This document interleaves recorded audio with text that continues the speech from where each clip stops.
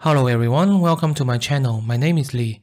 In my previous videos, I have shown you how you can use NixOS and how you can use Home Manager to manage your application configurations. In today's video, I would like to show you how you can use NixFlakes to manage all your configurations in one folder and then source control.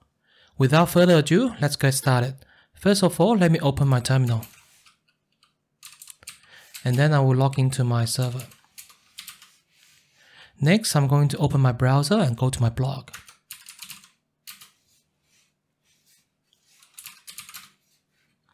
This is the blog post. Before we start, I would like to talk a little bit about why we want to use NixFlakes. If you remember from my previous video, before I install Home Manager, I need to install Home Manager's URLs to our Nix channel.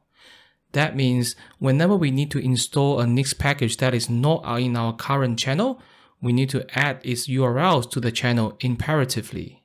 Also, our NixOS configurations and Home Manager's configurations are not stored in the same folder, which means we have two places that to um, store our configurations. You can use NixFlakes to solve these two problems. Firstly, you can define different channels for your different applications on flakes.nix files. Then you can put all the configurations in the same folder and then do NixOS rebuild switch, reference a flake to this folder. Let me start a demo and show you what it looks like. So let me go back to my terminal. And if you remember from my last video, I installed my Home Manager as a standalone mode. That means I've got a Home Manager uh, running here as the CLI. So let me just go to here. The first thing we need to do is to create some folders and copy some files. We can see here, so i am creating a my NixFlake folder and under that I've got NixOS and Home Manager folders, right? Then I will just copy the system configurations to the Nix. Then I will copy the system configurations to my um, NixOS folder and my home manager related files under home manager. Okay, so if we go to this file folder and then we can start creating my flake file, flakes, um, that, and then we can copy here. Let me explain a little bit what it does.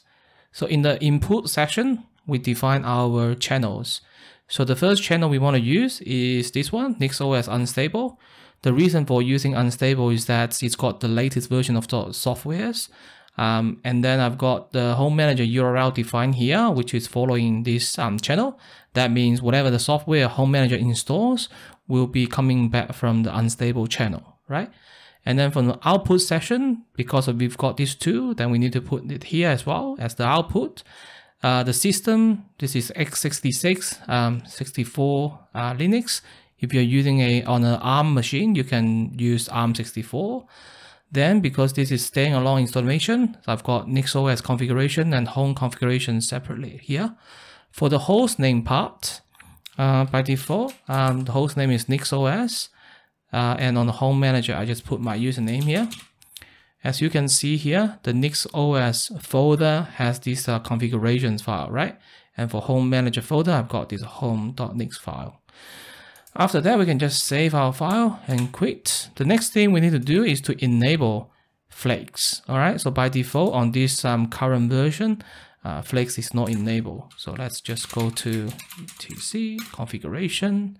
I'll put this at, at the bottom of the file. After that, we can do a Nix switch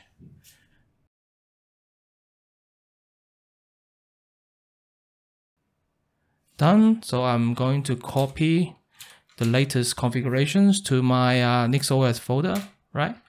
Um, no such file, sorry. So I will just go to this folder.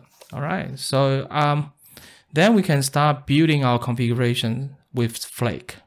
So if we want to build our NixOS configuration from Flake, we can copy this command here. It's pretty simple to our previous one. Instead, we just need to reference or tell um, this command where to find our Flake because the flake is in the current folder. So I just put a dot here. As to the host name, remember we are building the configuration for the system, so it's NixOS. Okay, so this is this error message means that well we enable ZSH as the default shell for my user, but it is not enabled. So to solve this issue, just copy here and change NixOS configuration. We come down to here, you can see user, user, my user shell is ZSH. So just copy here, build again.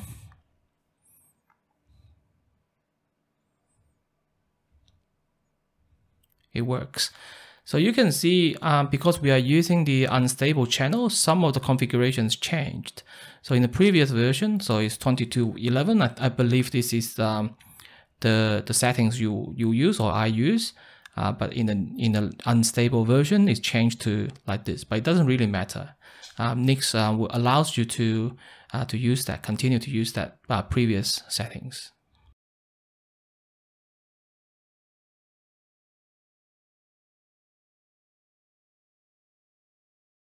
Okay, that's all done. That's how you build the uh, NixOS configurations from Flakes. So if we want to build a home manager, because this is in standalone mode, we can use the home manager switch command here, similar. So remember our username is FOMM and the same. The Flake file is in local, so we can do that.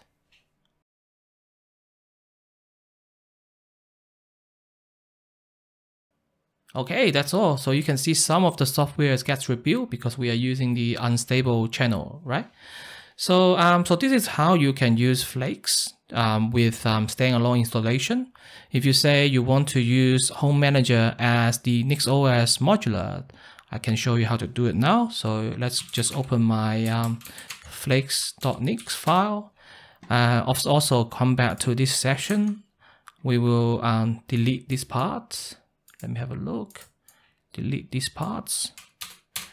Um, and then I will copy this part and paste it here.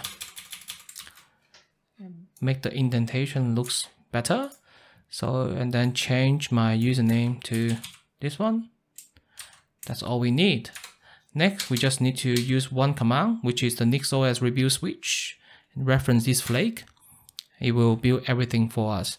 So one command to build both the system configurations and the home manager configurations. That's all done. So one thing I want to remind you is that if you're using Git to manage all your um, Flakes configurations or all your configurations in general, um, that means whenever you need to add a new file to this folder, you need to do git add and put this file to the stash. Otherwise, um, uh, Nix will not be able to find the new file. Okay, so that's all I want to share with you today. If you have any questions, please leave your comments down below and I will try to get back to you. Thank you for watching and see you next time. Goodbye.